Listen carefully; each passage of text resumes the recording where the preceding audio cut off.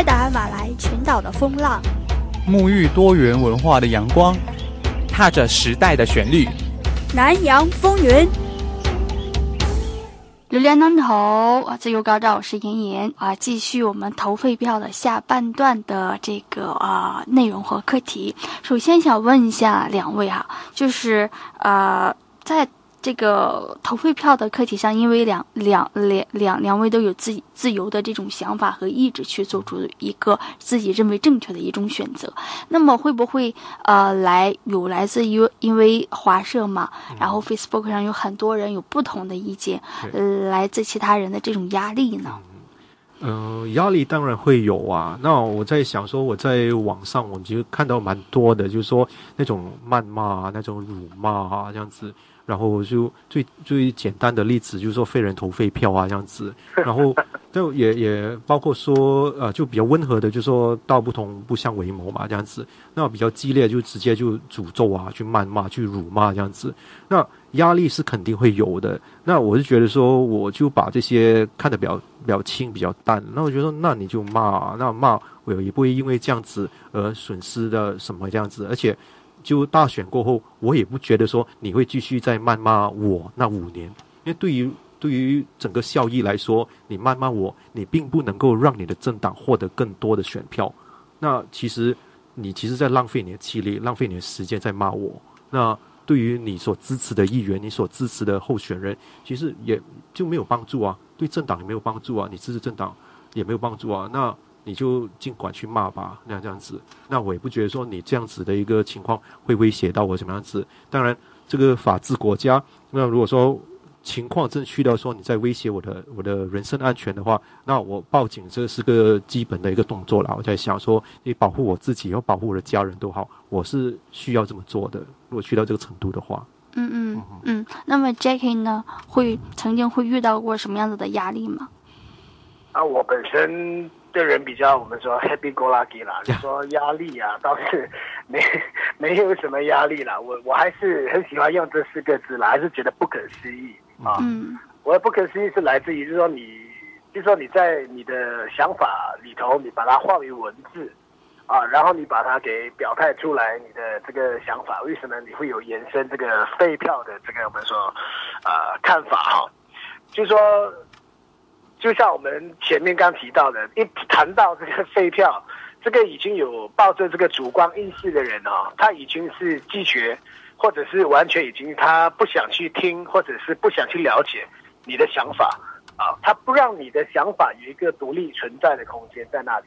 啊，他不让你呼吸的，就是说啊，现在的政治就是你不是 A 就是 B，不是 B 就是 A 啊，就好像一加一就加等于二，他完全不让你一个思考的空间。就是说，可能呃，我们说可能是八，可能啊，我们说七啊七，我们说十减到八也可以变成二，啊，我他他就他就是跟你讲，你就像一加一等于二，那你干嘛你要搞得这么搞得这么复杂？你去二十减一个十八变成二，啊，我我我的想法就是这奇怪，就是说你我的压力反而没有，我是来自于不可思议，就是说我们谈废票，今天废票，如果说你不接受可以啊。那如果说你真的是关心我们说，呃，我们说马来西亚的这个整个政治的局势，那你可以花一点时间去来听听这些我们说，呃，有延伸废票想法的这一小群。虽然它目前是一小群啊，可是星星之火是可以燎原的嘛，对不对？啊，它它总有一天会因为大家的理念都很像，很很相像啊。像我今天在这里跟宝康啊啊，就是大家就说，虽然还没有没有碰面呐，可是那种感觉是很有共鸣嘛。嗯啊，这个压压力的对我来讲说存在倒是没有了，就是说，就是觉得不可思议啊，就是说你的想法，你的一个看法，啊，就是说你把它就是用在废票或者把它一扯上政治的时候，它不让你有一个我们说独立存在的呼吸的空间了，好像呼吸都没有，啊，可是你从来都没有用心去看到底这个人为什么会发出这个 signal 这个讯号。发出来，你没有给他机会，你就是就是一看到这票就鞭打鞭打，啊，这是不负责任的，这个是浪费。我是觉得不要把太多的个人的主观的意思去加入，啊，也也要讲讲这个废票的这个这这一群人呐，嗯，多去了解他们的思想，胜过你去标签他们啊，这样子。嗯嗯，那么就到目前为止，就是投废票的人数大约会有多少呢？两位估算一下。嗯，其实如果根据嗯马哈迪我们的前首相他所说的，就只有一帕一趴而已嘛。那我们目前来说。其实刚开始的时候，我们只是在网上表达我们的意愿，我们没有说一定要有一个目标，就说要去到多少的人数这样子。其实我们在目前来说，或者一直以来，我们都没有去估算或者去追踪到底有多少的废票的一些群众，或者说他们想要投废票的群众。其实目前来讲，我们都没有这样的一个一个概念，到底有多少这样子。那我们的情况就是说，那就我们现在的想法就是说，我们就等开票吧。我们开票的时候，我们就看一下我们整个统计数字，就大概有多少的废票，然后让这整个国家的呃领袖、党领袖也好，甚至普罗大众也好，去认真看待，到底选择这一回事情是否应该要容得下第三种选择呢？这样子。嗯嗯嗯。那么 J.K. 怎么认为的？啊，我们赞同宝康讲的，就是说你要很具体的去说它的整个我们说废票的这个啊废票率会有多少，那个是比较很难去预估的一个东西，而且这个预估哈，它也并不是我我我个人是觉得，它也并不是在于这个我们说呃有延伸废票理念的这这这群人哈，嗯，他们想要去思考，或者是说他们非常有目的的去。就是用尽方法，用尽策略，然后去铺陈，让废票去存在更高的一个一个我们说好像说那个比率啊，我比较相信啊，个人是比较相信，他之所以会有延伸出一个对废票的这个我们说啊想法看法，他独到的见解是在于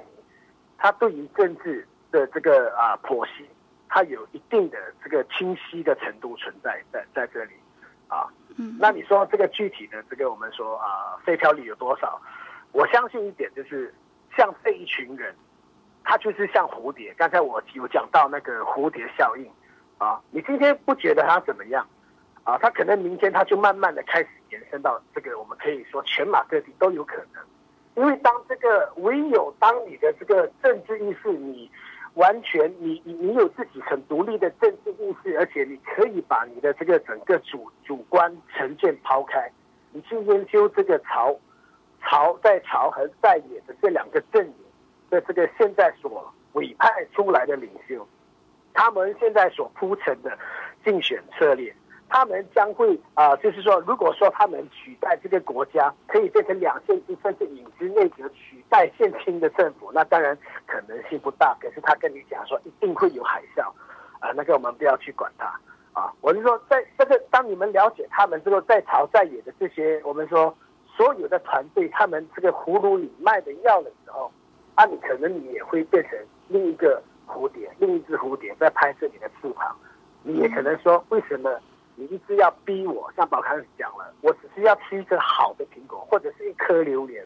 你为什么一直要给我苹果跟橙？我想要吃一条香蕉，不可以吗？对呀，我我我的看法是这样子啊。嗯 OK，是。那么就是，就针对投废票这个事情，我们在在在马来马来西亚的法律上是不是允许的？或者说其他国家的这样子一种有一种方式是怎么样去去对待投废票这样的一个课题的？或许我们可以以新加坡为例，还或者其他国家为例都可以。对对对。那其实目前来说哈，因为我之前接受另外一家啊网络媒体的访问的时候，就当时候有另一位呃律师，他其实也在也在被访问的的那个过呃访也在访问的名单里面那样子。然后他其实有提供说法律的一些见解，就是说目前在马来西亚的法律是没有呃。呃，没有惩罚性的一些法律条文去存在，去处罚或者去惩罚这些投废票的选民。那这一点是从法律的看法去看这样子。但是我们也看到，在不在一月投的吧？就二零一八年的时候，就有一位法律专家，他就提出了看法，他说煽动投废票可以被提控这样子。那我以一个平民百姓的想法去看待这个说法的话，那我说你要抓贼，你要拿赃嘛，这样子。那你如何在开票的时候，你能够确定你现在手头上开出来的一废票和我现在所说的一番话是有直接的关联和联系呢？那这一点你是非常很非常难去确定这回事情。那你如果说你要真的真的要这样子去做的话，那我在想说，我我欢迎那些那些非常痛恨废票的那些群众，在开票出来的时候，你尝试去报警吧。那我觉得说，那时候你就看看，呃，警方如何去对待这样那个废票的情况，或者法律专才，甚至去到检控官这样的一个地步的话，他们要如何去确定一张废票和我现在所说的那一番话是有直接的关联的呢？这是非常困难的。那如果说其他的国家的话，或者说新加坡，他们是立法规定你一定要投票嘛，对不对？啊，那立法规定投票，我这里要讲一个一个概念，就是说。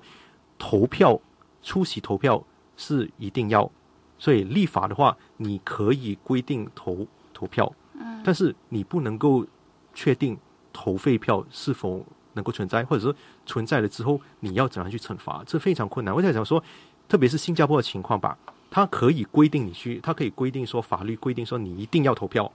但他如何去捉这些投废票的人呢？嗯，投票这个过程不是不是保密的吗？那为什么会有机会让他们抓到出来说投废票是一个破坏性行为呢？嗯，嗯，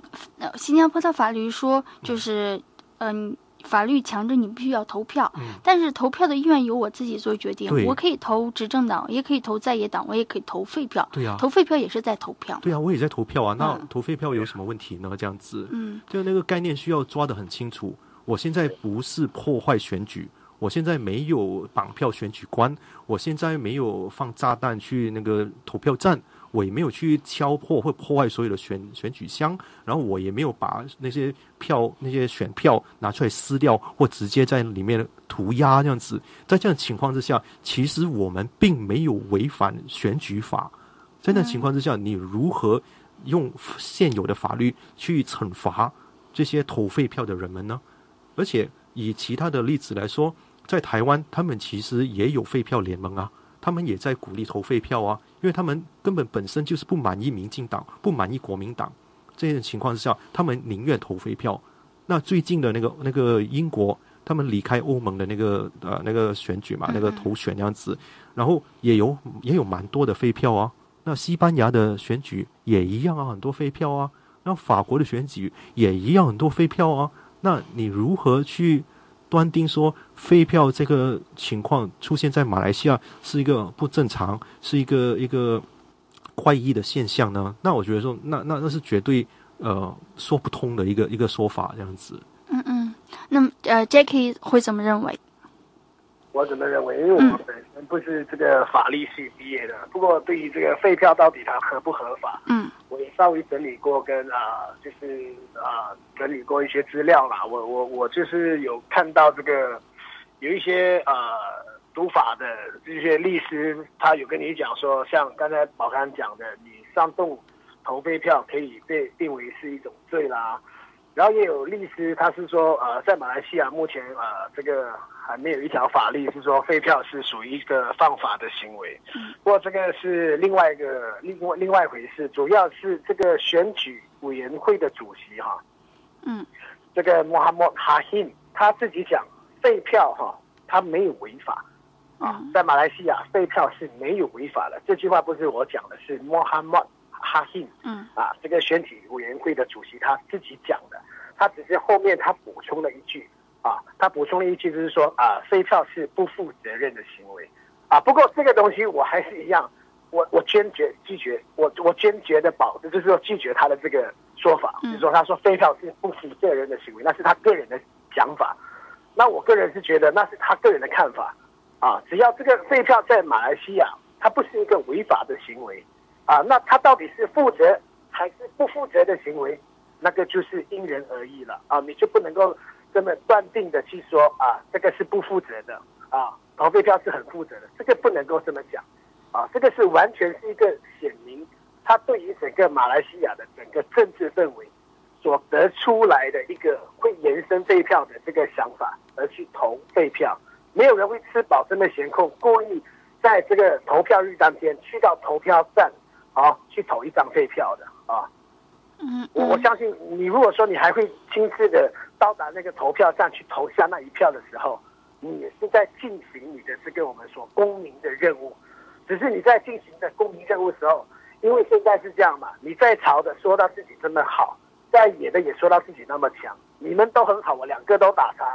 两个我都支持，可是那张票在游戏规则里面它变成废票了。嗯啊，你不能说我这个是呃，我我没有尽我的公民的责任呐、我我的想法啊、不负责啊，这个是因人而异，看法是非常个人的啊啊嗯嗯。那么其实就是，呃，五零九就是马上第十四届大选就要来临了。那么其实，在五零五的时候，好像似乎我们没有听到说有呃有有要投废票这样的一种概念存在。那么这一次大选呢，我们就会听到这样的一群声音啊、有这样子的一种一种夙愿。那究竟五零五和五零九相隔五年之间会发生怎样子的变化，会促生一部分朋友们去投废票？那其实呃，我很想强调一样事情哦。那废票这个不是呃凭空而来的，就是说在马来西亚政治里面哦，就其实一直有存在的一群人，或者是一一大一批生一批人那样子，他们对于呃在朝和在野的人领袖都好，他们都有存在一些不满这样子。我记得我在当时候出席的一项集会嘛，就是说那个呃 b e r s e 三的时候，那个时候就和那个呃那个环保就呃绿色行动一起就配合这样子。那个时候我在呃吴达 Ocean。就是说，现在磁场街附近那个呃地呃那个 MRT 站那边，那现在那个舞蹈 Ocean 被拆了。那个时候我就看到了一张海报，然后这海报是由有族同胞就马来同胞在举着，然后那群人其实用鼓鼓声在在在呃在吸引人们的注意这样子。那在海报上就是说，他们就有有两张脸嘛，一张是我们的呃首相纳吉，然后另外一张呢就是安华这样子，就同样的两张肖像都打叉这样子。他们也就强调说，呃，我们是两个领袖，我们都不要的。在那个时候，就五零五之前哦，就已经有这样的一群声音在存在。嗯然后在后来五零五之后的一个补选嘛，就那个大港的补选，嗯就我们看到就有一群大学生，他们就步行到国会，就然后去成成备忘录，就是说要用废票去惩罚呃双方朝野双方的一些不理性的一些态度，或是或者是政治斗争这样情况。然后那个时候已经可以看到。就是说有有很多人就跟我说，为什么只在鼓吹华人在华裔在投废票？那马来人呢？那我说马来人其实他们也在也在进行着啊，这样子。然后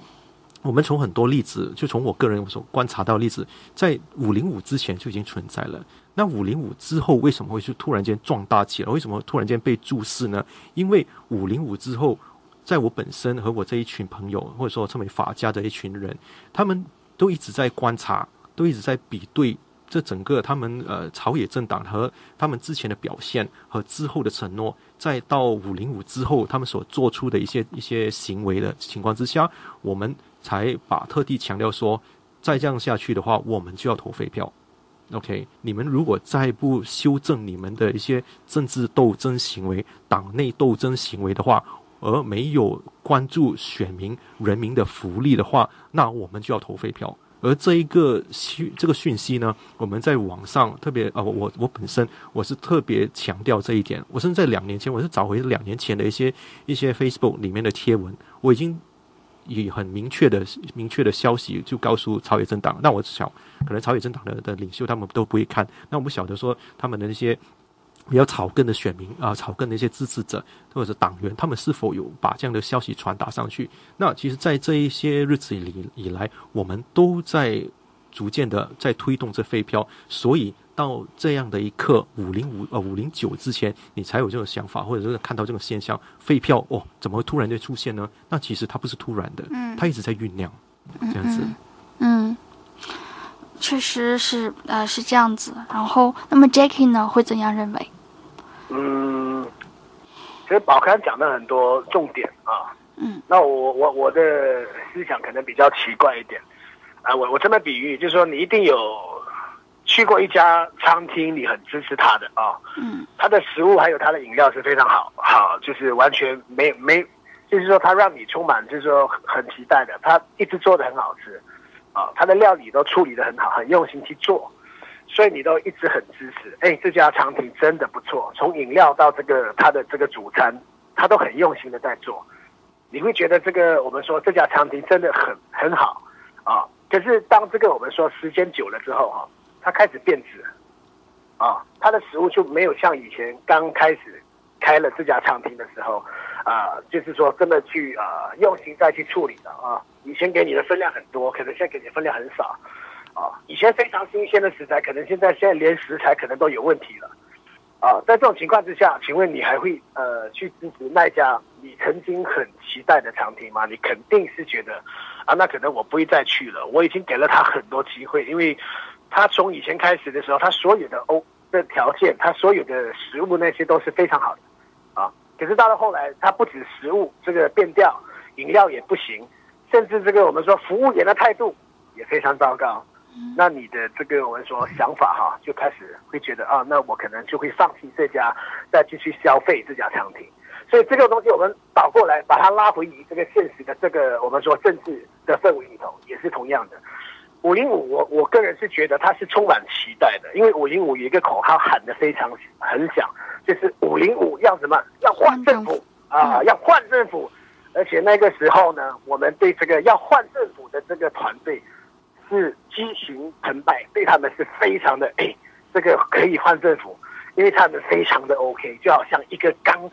这个完全是完全是刚开张的一家这个餐厅，他卖的东西都很好吃，他给你的理念，他所有的这个宣誓书里面，他写的都非常好，写的都是你要的啊。可是五零五呢，现实里头换不了政府了哈。嗯政府换不了了之后，我们回到现实了。回到现实的时候，什么东西是最好的一个？我们说啊，圣人啊，时间是最好的这个证人，他会把所有的一切你所讲过的这个所有的这个东西，他都会让你曝光你这个呃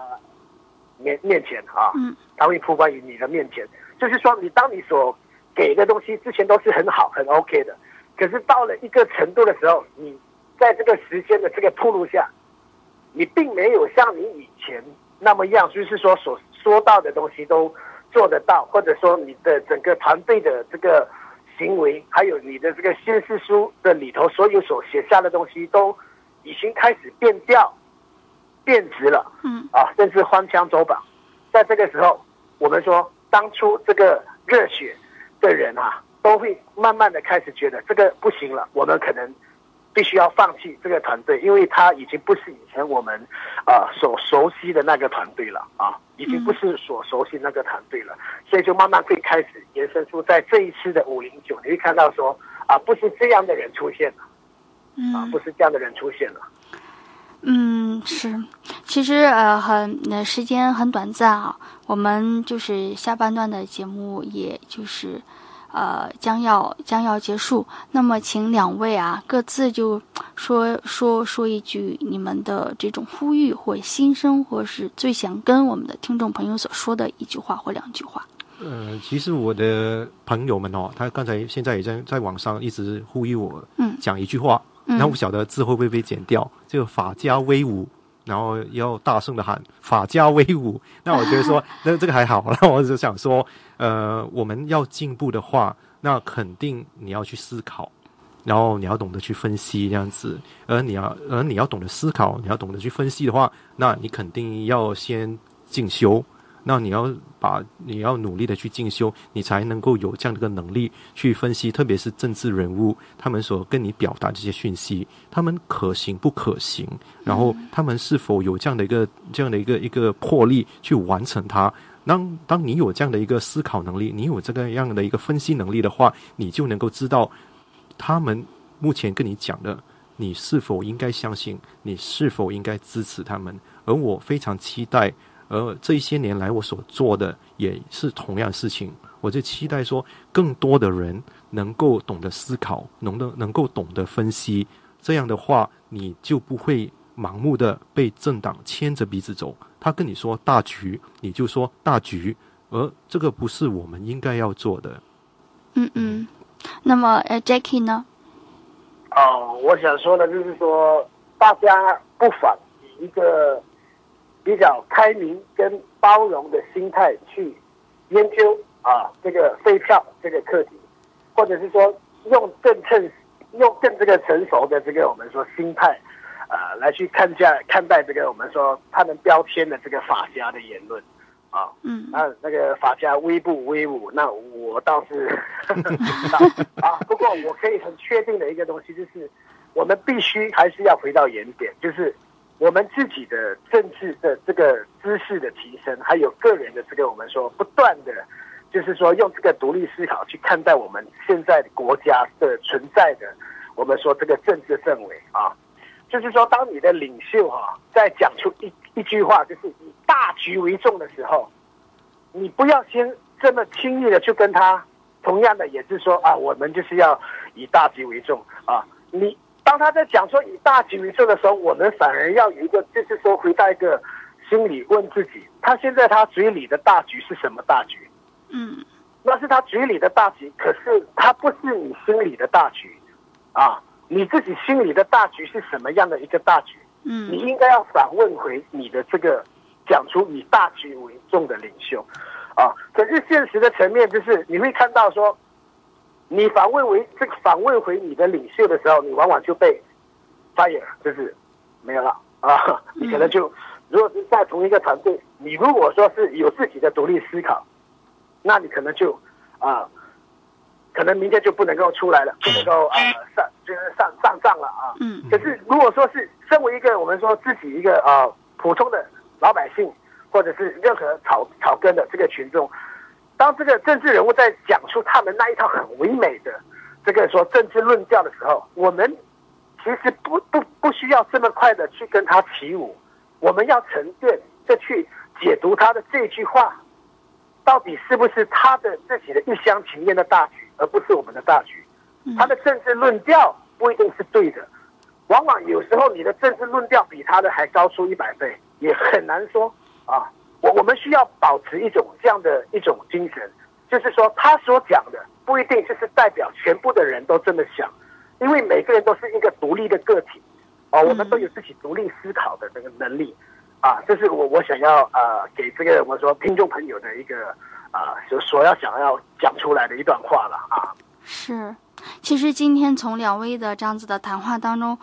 呃，我我我我也深深的能够体会到，其实呃，在投废票。